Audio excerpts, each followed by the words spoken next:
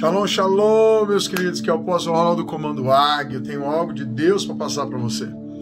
Você é um sucesso. Tá Eu quero aqui começar falando de Deuteronômio 29, 9, que diz assim: Sigam fielmente os termos desta aliança para que vocês prosperem em tudo. Se você seguir fielmente os termos dessa aliança, você vai prosperar em tudo que você fizer. Prosperidade é um plano de Deus para nós. Vocês lembram como Adão vivia no Éden, né? Deus quer que você desfrute de uma comunhão profunda e tremenda com Ele, tá? Sabemos que Deus é amor, queridos. Nós precisamos entender que o princípio do amor é dar. Tem muitas pessoas que não conseguem esse entendimento. Você é filho de Deus. Você precisa entender muito bem disso. Deus amou o mundo de tal maneira que ele deu o seu filho unigênito. Tá? O maior nível de amor, com certeza, é dar. E as pessoas não entendem. A matemática do mundo é quanto mais você retém, mais você vai ter. A matemática de Deus é quanto mais você der, mais você vai receber. Né? Tem um, um lago, Lago da Galileia, né? ele é riquíssimo em animais, em vida ao redor dele. Os moradores usam a sua água para regar suas lavouras, para beberem, né? matar sua sede. E é um lago frutífero, produz de tudo, é uma bênção o Lago da Galileia. Mas ele manda sua água tá? Ele recebe de vários afluentes, ele também envia a sua água, tá? A, a, água sai dele também, ele também doa a sua água, por isso que ele é uma benção. Mas tem um lago chamado um, de Mar Morto, que na verdade é um grande lago, né? Que ali a água ela para, fica ali todo o sal, né? Ali não tem vida, não tem nada, porque ele retém para si. O reino de Deus é assim, você é um sucesso se você entender a matemática do reino. É dando que se recebe, né? é abençoando que você vai ser abençoado. Lembra de quando o Senhor falou para Abraão, falou, me dá teu filho, me dá teu Isaac, né? eu quero aquilo que você tem de melhor, você tem que dar. E quando Abraão foi lá e preparou o altar, Isaac já tinha 16 anos, já falou, pai, cadê esse? Cadê, pai? O, o animal que nós vamos colocar aqui. E andaram por muitos quilômetros e Abraão teve que enrolar aquilo que ele mais amava, que era o filho, ou o segundo que ele mais amava, né? Ele mais amava a Deus. Mas Abraão, por obediência, e aqui eu falei em Deuteronômio 29, 9, sigam fielmente os termos dessa aliança para que vocês prosperem em tudo, quer dizer, obedeça. E Abraão obedeceu na hora de sacrificar Isaac, Deus estava provando ele, segurou, o anjo segurou o seu o seu cutelo, né? Ou ali a sua faca, ninguém sabe ao certo. E aí Deus mostrou para ele o cordeiro estava preso nos arbustos. Depois disso, o que Deus disse para Abraão: olhe para as estrelas do céu, aquilo que eu estava te pedindo, que era único, que era o, o filho que você tinha, talvez os cinco pães e dois peixinhos, o resto de farinha da viúva, né? É, é plantando que se colhe. Aqui deixa muito claro a palavra de Deus, que é com esse intuito, a lei da semeadura. Porque tudo que o homem semeais também ceifará. Gálatas 6,7. Tá? O que semeia pouco, também pouco ceifará. Ontem foi os dias de sacrifício aqui na base. O Senhor falou: Ó, tu precisa enviar um sacrifício assim assado, outro aqui. Ontem ele fez três pedidos, hoje ele fez mais um. Ontem ele pediu cursos, semeia em cursos, já passaram de 100 mil de valores, né, de, de semeamos cursos, depois o Senhor falou, agora você tem que semear valores, depois cesta básica. Falei, pai, o que está envolvendo isso aqui? Falou, isso aí está envolvendo a tua colheita. Já preparatória para o Yom Kippur, na, na, na colheita, do, no, no plantio do Yom Kippur, a gente faz outro sacrifício.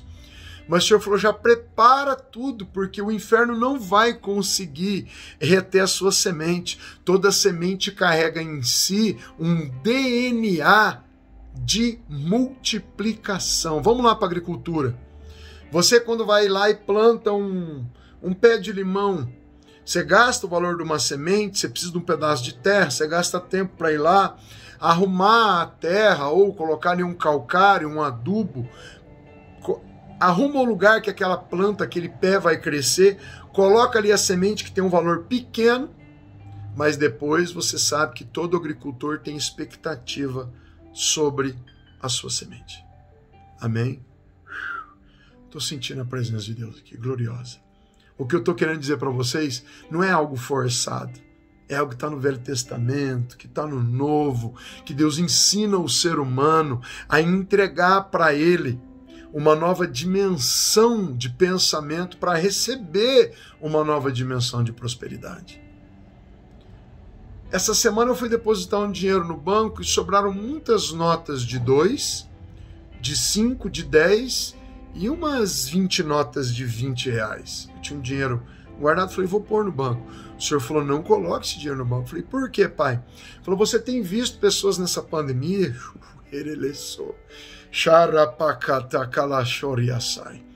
Você tem visto, filho, nessa pandemia, muitas pessoas nas ruas pedindo esmola, vendendo bala. Esse dinheiro não é seu, esse dinheiro é deles. Eu falei, pai, mas quando vão pedir para usar drogas? Falou, pelo meu espírito você já percebe quem vai usar para o mal e um pai de família que está ali precisando comprar o alimento. Falou, filho, não esqueça dos meus órfãos, das minhas viúvas, não esqueça de ninguém. Seja misericordioso, que você planta misericórdia. Ah, você planta socorro, você planta ajuda, você vai colher isso também. Tá bem? Oh. Se o machado está cego e a sua lâmina não for afiada, é preciso golpear com mais força. Agir com sabedoria assegura o sucesso. Você é um sucesso porque você vive pela fé, você vive pela palavra de Deus.